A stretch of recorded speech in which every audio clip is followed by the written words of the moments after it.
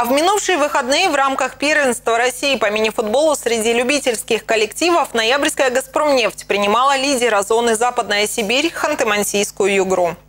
В первом поединке нефтяники начали резво, захватили инициативу и вскоре повели 2-0, благодаря точным ударам Сергея Орлова и Глеба Климова. Однако вторую десятиминутку «Газпромнефть» провела не так активно, пропустив сразу два гола в раздевалку. На перерыв хозяева ушли, уже уступая 2-6.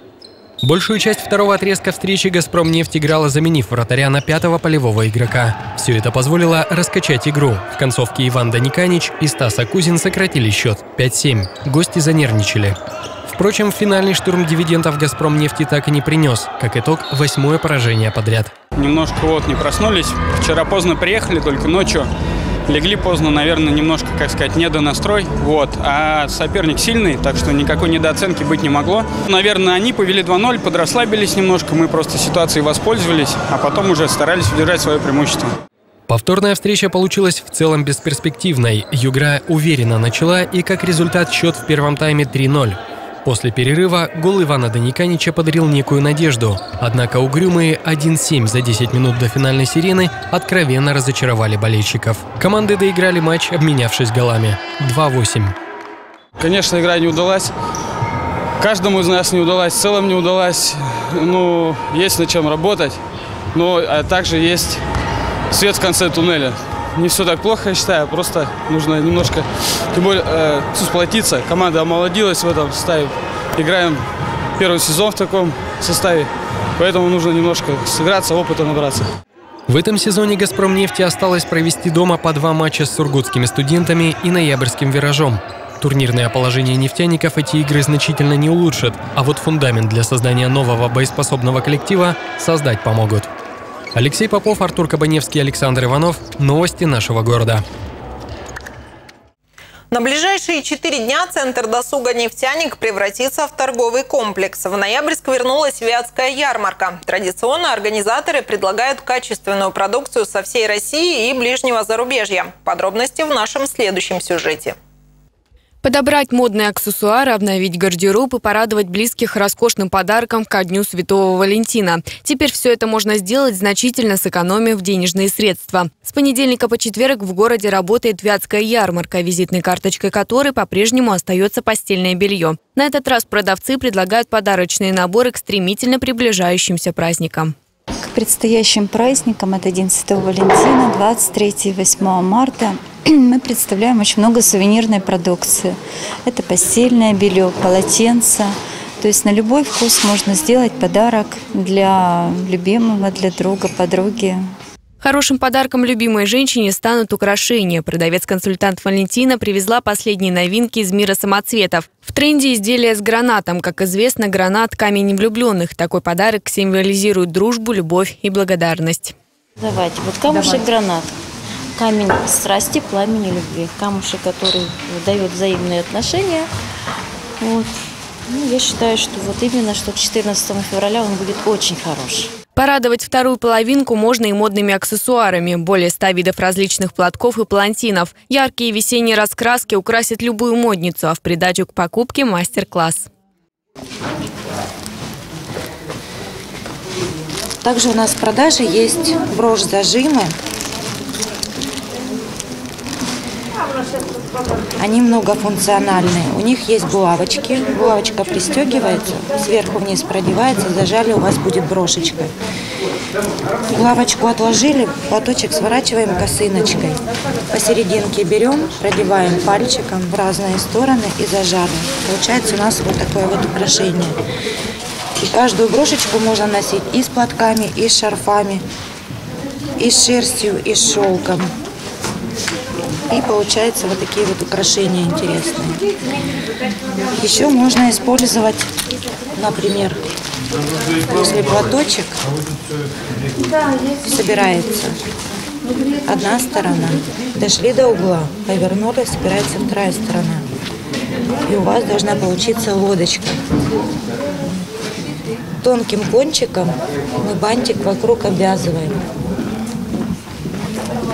И у нас получится вот такое вот украшение. Каждая женщина может себя красиво украсить. Широкий ассортимент облегчит выбор подарка не только мужчинам. Отличным презентом к 23 февраля станут эксклюзивные чехлы для автомобиля. Людям мы создаем такие варианты чехлов, допустим, чтобы они были доступны из мутона. А есть эксклюзив, это волки, норка, каракуль. Люди покупают, им интересно. Это у нас что? Это волк. Вот это э, из волка, распуск волка. Есть козы, есть норки, есть каракуль. Мутоновые очень интересные, цельные. Ну, бывают кусковые, это гораздо дешевле, конечно, а цельные они. И мы работаем только хорошим мутоном, он называется велюр-мутон, который используется в производстве шуб.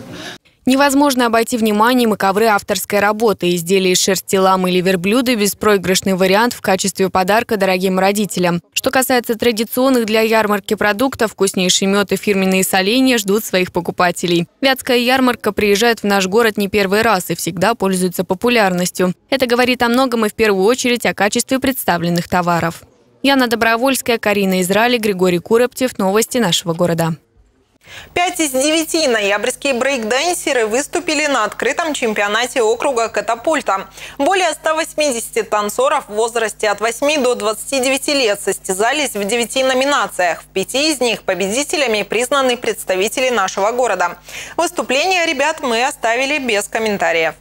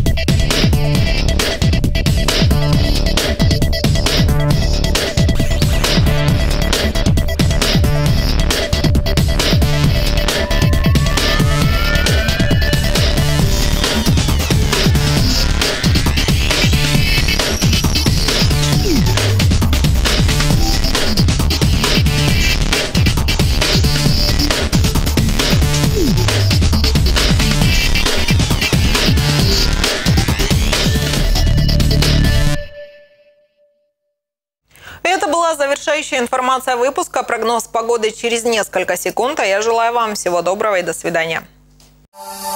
Одежда ведущему предоставлена индивидуальным предпринимателем Галиной Копач.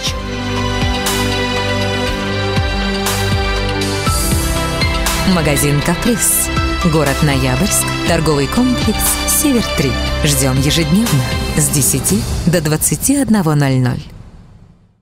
Зима наполняет мир красотой – но порой за поворотом она прячет неожиданные сюрпризы. Какой бы ни была зимняя дорога, волшебной или непредсказуемой, вы спокойны за близких, когда впереди надежный ориентир. На любой АЗС «Газпром» нефть по всей России вас ждут качественное топливо и теплый прием. Сеть АЗС «Газпром» нефть. Надежный ориентир на зимней дороге.